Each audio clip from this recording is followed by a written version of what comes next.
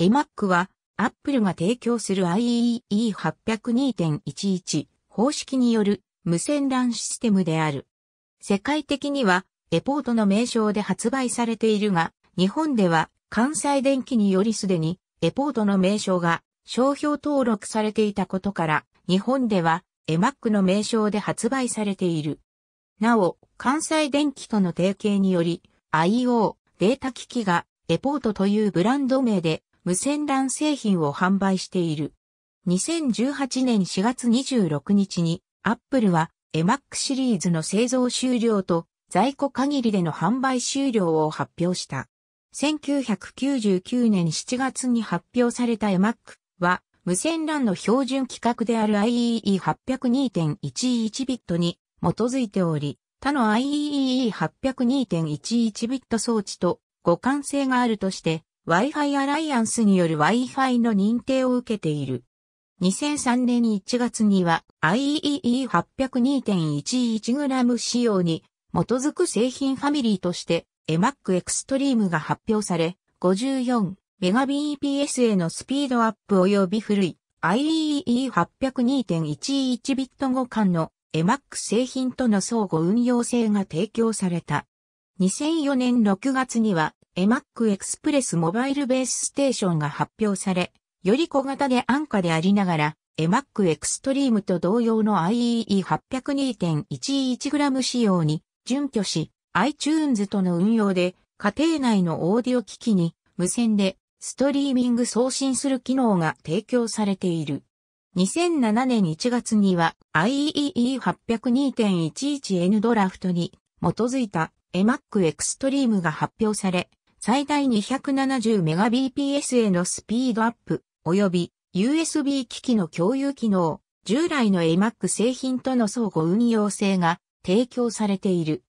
eMac 製品の一般的な用法は、プロトコルと拡張カード及びベースステーションを参照のこと。eMac カード及び eMac エクストリームカードはマッキントッシュにのみ利用できる。しかしすべての eMac ベースステーション及びカードは Wi-Fi の認定を受けたサードパーティーのベースステーション及びワイヤレスカードと互換性がある。この相互接続性により、新旧のマッキントッシュ及び Windows、そして Linux システムにさえもサービスする何種類かの eMac、ベースステーションからなるワイヤレスネットワークを見ることは珍しくない。ただし、eMac ベースステーションは設定に eMac ユーティリティを必要とする。そのため、使用したい eMac ベースステーションをサポートする eMac ユーティリティに対応するシステムが最低1台は必要である。例えば、eMac Extreme の設定は2014年4月時点では iOS6 以降または MacOS 10 V10.75 以降のシステムが必要となる。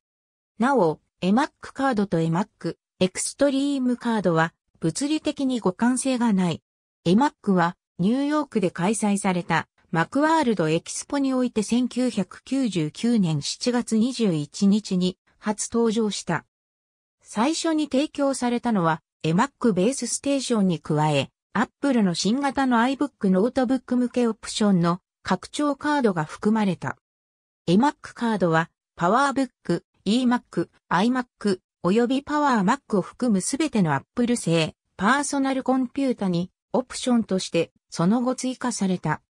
初代の eMac システムは40ビット暗号化にしか対応しないが、最大 11Mbps の転送レートが可能であり、複数のコンピュータの間でインターネットアクセスの共有とファイル共有を行うためによく使われた。eMac カード M7600J C 以降は128ビット暗号化に対応した。2003年1月7日、Apple は IEE802.11g 仕様に基づく eMac Extreme を発表した。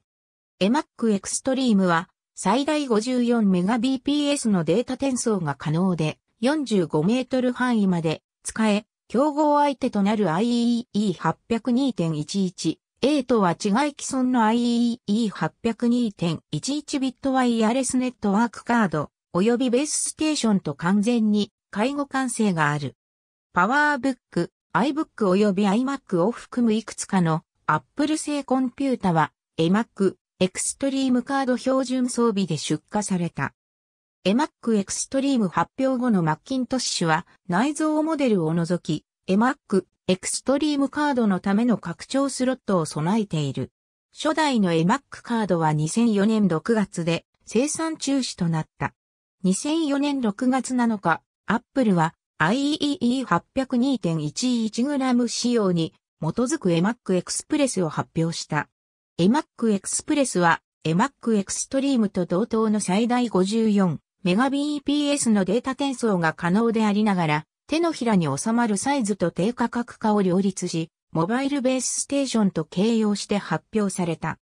また、デジタルとアナログの複合オーディオ端子を内蔵しており、家庭内のオーディオ機器等に接続し、iTunes と連携して無線でストリーミング送信する機能が追加されている。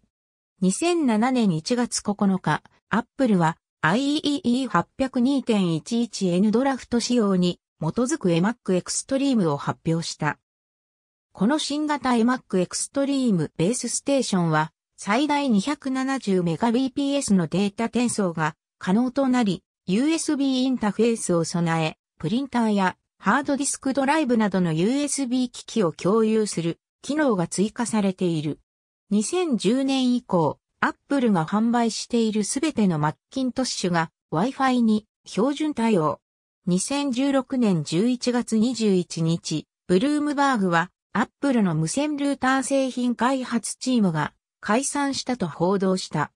初代 eMac ベースステーションベースステーションとは eMac を利用可能なコンピュータをインターネット、あるいは他の eMac 利用可能なコンピュータ、あるいは有線 LAN、あるいはその他の装置へ接続するために使われる、いわゆるアクセスポイントの eMac シリーズ製品における通称である。2018年4月27日、全製品の在庫限りでの販売終了が発表された。グラファイトとして知られる初代 eMac ベースステーションは、モデムポート及びイーサネットポートを一つ備えている。これは、ルーセント製、ウェイブラン PC カードをベースにしており、組み込み型486プロセッサが使われていた。1999年7月21日に発売された。デュアルイーサネット、またはスノーとして知られる第2世代モデルは2001年11月13日に発表された。これは2つ目のイーサネットポートが追加され、有線及び無線クライアントの両方と有線ネットワーク接続を共有することを可能にした。このモデルは、モトローラのパワー PC860 プロセッサが組み込まれていた。eMac Extreme eMac Base Station は2003年1月8日の eMac Extreme Base Station の発表後に生産が中止された。最高 54Mbps にスピードアップされたワイヤレス接続の提供に加え、外部アンテナポート及びプリンター共有用の USB ポートが追加された。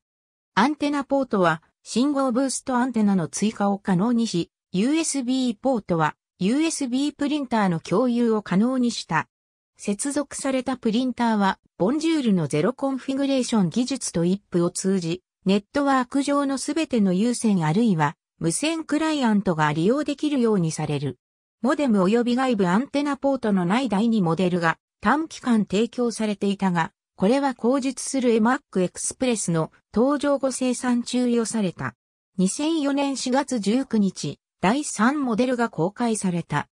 これはパワーオーバーイーサネットをサポートし、釣り天井の上のエリアのようなエアハンドリング、スペースでの安全な利用のための規格売る2043に従っている。3つのモデルすべてがワイヤレスディストリビューションシステム標準規格に対応する。